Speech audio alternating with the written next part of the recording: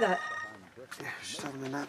Oh, Ben, do you know, it's gone one. Yeah, I lost track of time. Yeah. It's me. Dad, what's going on? You all right? Listen, I ain't got long. I, I don't want the screws catching me with this thing. And I've got to get hold of Kat yet. But, uh, so I need you to do a little job for me. Yeah, well, I- I've already passed that thing on the shower note you asked. No, this is something else. It's nothing too tricky, but I, I need you to get me some information. Go on. Someone in here wants some information on your mate, Kheerat. What sort of information? Who? It don't matter.